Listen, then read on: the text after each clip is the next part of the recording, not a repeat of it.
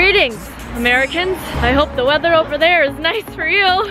I'm really cold right now. It's like in the 30s, like real, real chill. Oh, I bought mittens! Guys, this is my first pair of mittens and I figured that I get mittens instead of gloves so that my four fingers can all be friends and warm each other up.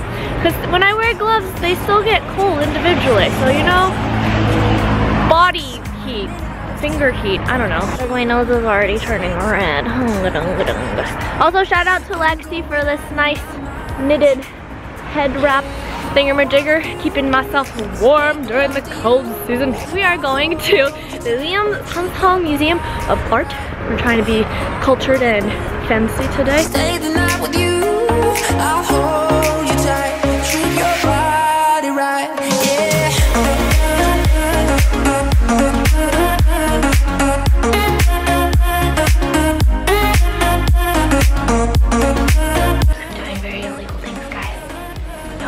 the.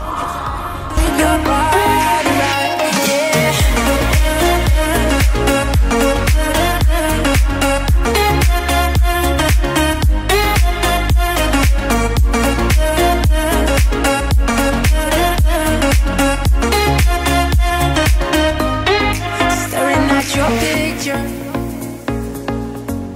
it's hanging on my wall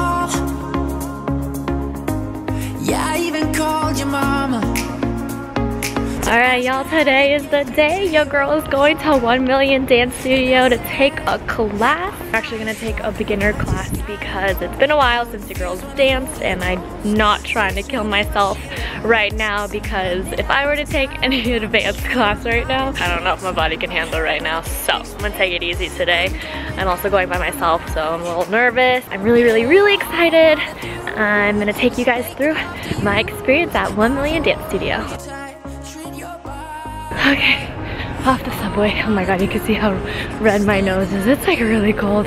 The high is uh, 34, I think, today, and the low is 20 degrees, so I'm pretty chilly. My face is pretty chilly. I need like a ski mask here or something, I swear. I'm approaching, and I'm getting really, really nervous. I'm also really out of breath because I'm trying to rush because I don't want to be late.